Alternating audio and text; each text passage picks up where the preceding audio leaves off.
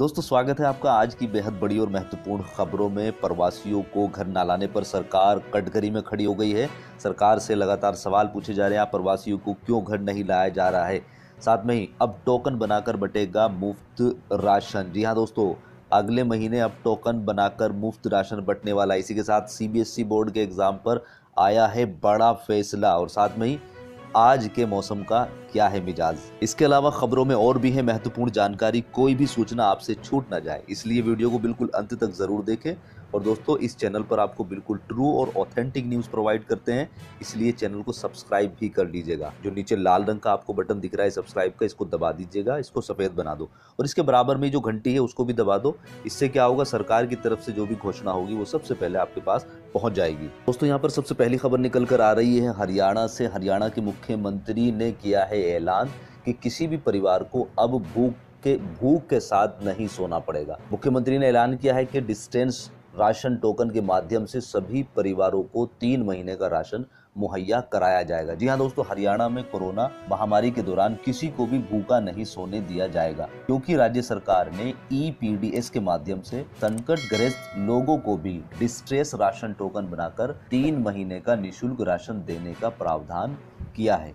यह जानकारी सीएम मनोहर लाल ने केंद्रीय इलेक्ट्रॉनिक सूचना व संचार मंत्री रविशंकर प्रसाद द्वारा देश भर के सभी राज्यों के मुख्यमंत्रियों के साथ वीडियो कॉन्फ्रेंस के दौरान बताई गई है। मुख्यमंत्री के दावे में कितना है दम, ये आने वाला वक्त ही बताएगा कि डिस्ट्रेस राशन टोकन कितना कामयाब होता है। दोस्तों, अगली खबर निकल कर आ रही है उड़ीसा से और यहाँ पर सरकार ने लिया है बड़ा फैसला कि उनके जो प्रवासी लोग हैं, प्रवासी मजदूर जो बाहर दूसरे राज्य में रह रहे हैं, उनको बुलाने का कार्य वो शुरू करने जा रही है। और साथ में उसने बोला है कि हमारे यहाँ आने के बाद उनका सारा खर्च भी सरकार ही उठाएगी। जी हाँ दोस्तों, यहाँ पर उड़ीसा आ रहे प्रवासी, उड़ीसा लोगों का पूरा खर्च उड़ीसा सरकार उठाएगी। इस संदर्भ में राज्य आपदा संचालन विभाग की ओर से पंचायती राज एवं गृह निर्माण विभाग को सरकार ने पत्र लिखा है। प्रवासी उड़ीसा लोगों के प्रदेश में अस्थायी मेडिकल कैंप बनाए जाएँगे। सरकार को लौटने के बाद इन प्रवासियों को चौदह दिन का क्वारंटाइन में रखा जाएगा। यहाँ पर उनके रहने, खाने, सफ़ाई के साथ साथ मनोरंजन आदि की व्यवस्था सरकार की तरफ़ से की जाएगी। क्वारंटाइन में रहने वाले एक व्यक्ति के पीछे कितना खर्च होगा, इसकी भी सरकार ने घोषणा कर दी है। क्वारंटाइन में रहने वाले प्रति व्यक्ति के पीछे सरकार ने एक रुपए का खर्चा बताया है, जबकि 14 साल से कम उम्र के बच्चे के लिए सौ रुपए का खर्चा बताया है। क्वारंटाइन में रहने वाले लोगों के लिए सुबह आठ से नौ बजे नाश्ता मिलेगा, दोपहर साढ़े बारह से दो बजे के बीच भोजन मिलेगा, शाम को चाय व बिस्कुट, और रात को साढ़े सात से नौ बजे के बीच भोजन मिलेगा। तो पूरी की पूरी व्यवस्था यहाँ पर सरकार ने बनाई है। साथ में ही सरकार का कहना है कि पेस्ट, मंजन, साबुन, तेल, मास्क, सैनिटाइजर, मग इत्यादि का भी पूरा इंतज़ाम सरकार ने किया हुआ है। दोस्तों, यहाँ पर अगली खबर निकल कर आ रही है। उत्तर प्रदेश से उत्तर प्रदेश के मुख्यमंत्री योगी आदित्यनाथ ने तीन तारीख को, तीन मई को लॉकडाउन खुलेगा या नहीं खुलेगा, उसको लेकर अधिकारियों के साथ मीटिंग कर उनको निर्देश दिए हैं। जी हाँ दोस्तों, यहाँ पर कोरोना वायरस के प्रकोप के कारण लगा लॉकडाउन तीन मई के बाद खुलेगा या नहीं खुलेगा, यह निर्णय केंद्र सरकार का होगा। लेकिन उत्तर प्रदेश में ग्रीन और ऑरेंज जोन बनाकर गतिविधियाँ शुरू करने की तैयारी योगी सरकार कर रही है। मुख्यमंत्री योगी आदित्यनाथ जी ने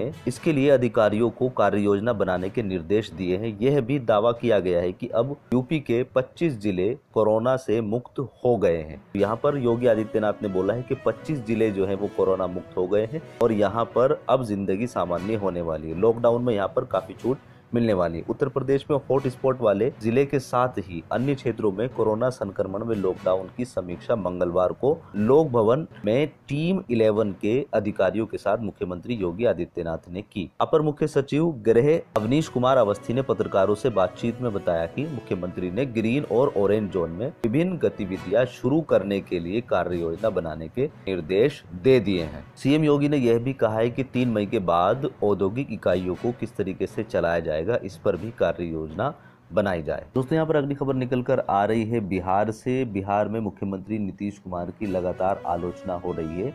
यहाँ पर प्रवासियों को घर ना लाने के लिए सरकार ठोस कदम नहीं उठा उठा रहे हैं, ये राजद का कहना है। यहाँ पर विपक्ष की पार्टी लगातार नीतीश कुमार के कार्य की आलोचना कर रही है। कोरोना वायरस के संक्रमण के रोकथाम को लेकर लॉकडाउन किए जाने से दिल्ली, महाराष्ट्र, पंजाब, हरियाणा समेत देश के अन्य विभिन्न राज्यों में फंसे बिहारियों की स्थिति दिन ब दिन खराब होती जा रही है। ये विपक्ष का कहना है, जहाँ तहां फंसे प्रवासी पैसा बचत करने वे बड़े शहरों में किराया महँगा होने के कारण एक ही कमरे में 18 से 20 संख्या में भूखे, प्यासे, दयनीय हालत में हैं।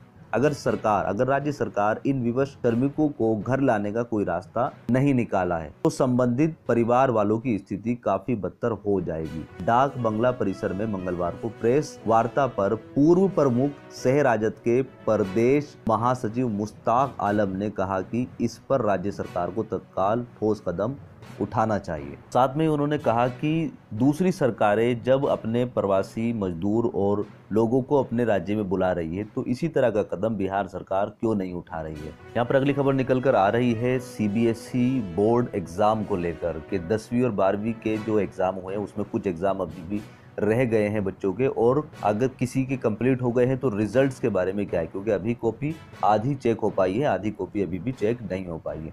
तो यहाँ पर कुछ मंत्री का ये मानना है कि नवी और दसवीं के जिस तरह से प्रमोट किए हैं, इसी तरह से दसवीं और बारहवीं के स्टूडेंट्स को भी प्रमोट कर दिया जाए। कोरोना वायरस का प्रकोप सीबीएसई बोर्ड सहित अन्य सभी बोर्ड परीक्षाओं पर भी दिख रहा है लॉकडाउन में, जहाँ सभी स्कूल और कॉलेज बंद है। ऐसे में बोर्ड की बची हुई परीक्षाएँ कराना बहुत चुनौती मंगलवार को मानव संसाधन विकास मंत्री रमेश पोखरियाल निशंक ने वीडियो कॉन्फ्रेंस के ज़रिए सभी प्रदेश के शिक्षा मंत्रियों से बात की है। इस वीडियो बैठक में दिल्ली के शिक्षा मंत्री मनीष सिसोदिया ने मानव संसाधन मंत्री को ये सुझाव दिया है कि दसवीं और बारहवीं स्टूडेंट्स को भी नवी और ग्यारहवीं के स्टूडेंट्स की तरह ही इंटरनल एग्ज़ाम के नंबर के आधार पर पास कर दिया जाए। हालाँकि अभी ये देखना बाकी है कि मानव संसाधन विकास मंत्री रमेश पोखरियाल दिल्ली के उप मुख्यमंत्री मनीष सिसोदिया के सुझाव को स्वीकार करते हैं। दसवीं और बारहवीं के बोर्ड के स्टूडेंट्स को बिना एग्ज़ाम के ही पास करते हैं या लॉकडाउन खत्म होने के बाद उनको एक नया शेड्यूल के साथ पहले एग्ज़ाम कराएँगे और फिर रिज़ल्ट को सामने लेकर आएँगे। इसी के साथ बढ़ते हैं अपनी अगली खबर की तरफ़। तो यहाँ पर जान लेते हैं कि मौसम का क्या है मिजाज।